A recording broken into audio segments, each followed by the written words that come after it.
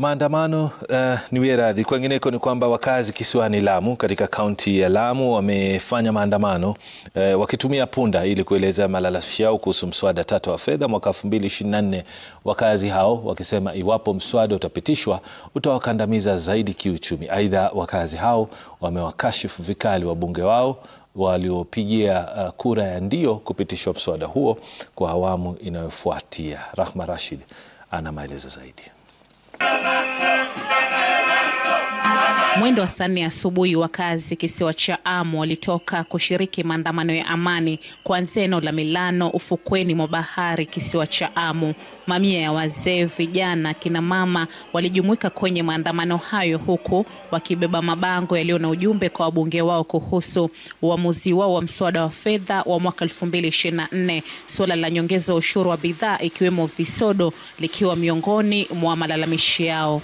It is very sad and very shameful uh, to, to know that our MPs have approved this finance bill, yet 65% uh, of the country is facing period poverty. Nasema isi wanawake wa Amu, hiyo padi tucheche yao ya kwamba wakiizanya Nairobi mia mbili kwetu ni mia nne bila taksi, wakituongezea kati tutanunua na inisi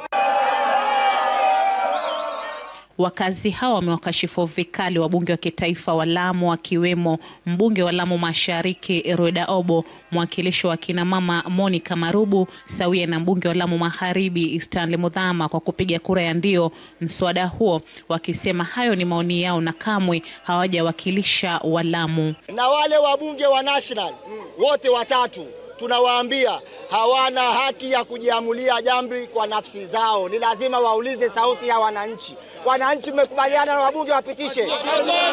Ah, wabunge wetu tafadhali, mumetuaibisha sana na mumebisha hawa vijana. Hawa vijana ndio waliwachagua, na sijui ni kitu gani hamwezi kuwasikiliza. Ni maandamano yaliyohusisha mashirika yote ya kijamii ya Lamu wakiongozwa na shirika la Muhuri, shirika la Faza Youth Action, shirika la Lamu Women Alliance na baraza la wazee wa Kibajuni, wakisema mswada huo utakapopita, mkazi wa Lamu ataathirika zaidi kutokana na gharama za juu za usafiri.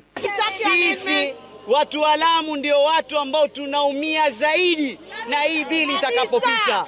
Wakiwa Nairobi wananunua mkate shilingi sitini, sisi tunanunua na mia na kumi.